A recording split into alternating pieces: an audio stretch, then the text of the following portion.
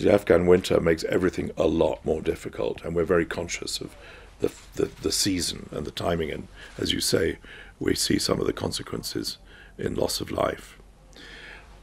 This is within a context of six million people.